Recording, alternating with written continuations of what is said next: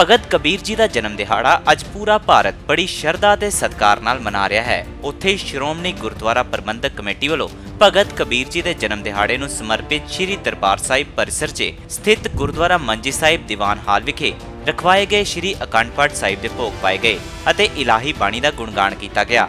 ਇਸ ਸਮਾਗਮ 'ਚ ਵੱਡੀ ਗਿਣਤੀ ਵਿੱਚ ਸ਼ਰਧਾਲੂਆਂ ਨੇ ਆਪਣੀ ਹਾਜ਼ਰੀ ਲਗਵਾਈ। ਇਸ ਮੌਕੇ ਸ੍ਰੀ ਹਰਮੰਦਰ ਸਾਹਿਬ ਦੇ ਗ੍ਰੰਥੀ ਗਿਆਨੀ ਹਰਮਿੱਤਰ ਸਿੰਘ ਨੇ ਭਗਤ ਕਬੀਰ ਜੀ ਦੇ ਜਨਮ ਦਿਹਾੜੇ ਤੇ ਸੰਗਤਾਂ ਨੂੰ ਸੰਦੇਸ਼ ਦਿੱਤਾ।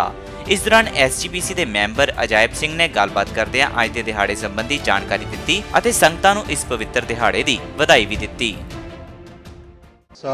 ਸ਼੍ਰੋਮਣੀ ਗੁਰਦੁਆਰਾ ਪ੍ਰਬੰਧਕ ਕਮੇਟੀ ਵੱਲੋਂ ਪਿਛਲੇ ਸਮੇਂ ਤੋਂ ਸਾਹਿਬ ਸ੍ਰੀ ਗੁਰੂ ਗ੍ਰੰਥ ਸਾਹਿਬ ਸੱਚੇ ਪਾਤਸ਼ਾਹ ਜੀ ਦੇ ਜਿਨ੍ਹਾਂ ਭਗਤਾਂ ਦੀ ਬਾਣੀ ਦਰਜ ਹੈ।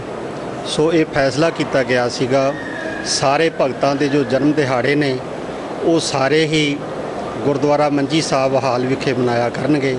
ਉਸੇ ਤਹਿਤ ਹੀ ਸ਼੍ਰੋਮਣੀ ਗੁਰਦੁਆਰਾ ਪ੍ਰਬੰਧਕ ਕਮੇਟੀ ਦੇ ਸਤਕਾਰਯੋਗ ਪ੍ਰਧਾਨ ਸਾਹਿਬ, ਪ੍ਰੋ- ਪ੍ਰੋਫੈਸਰ ਕਿਰਪਾਲ ਸਿੰਘ ਬਡੂੰਗਰ ਜੀ ਵੱਲੋਂ ਅਤੇ ਸਾਰੇ ਹੀ ਸ਼੍ਰੋਮਣੀ ਗੁਰਦੁਆਰਾ ਪ੍ਰਬੰਧਕ ਕਮੇਟੀ ਦੇ ਸਟਾਫ ਵੱਲੋਂ ਅਤੇ ਸਾਰੇ ਹੀ ਸਕੱਤਰ ਸਾਹਿਬਾਨ ਵੱਲੋਂ ਸੋ ਬਹੁਤ ਹੀ ਭਗਤ ਕਬੀਰ ਜੀ ਦਾ ਜੋ ਅੱਜ ਭਗਤ ਜਨਮ ਦਿਹਾੜਾ ਹੈ, ਗੁਰਦੁਆਰਾ ਮੰਜੀ ਸਾਹਿਬ ਹਾਲ ਵਿਖੇ ਮਨਾਇਆ ਗਿਆ ਹੈ।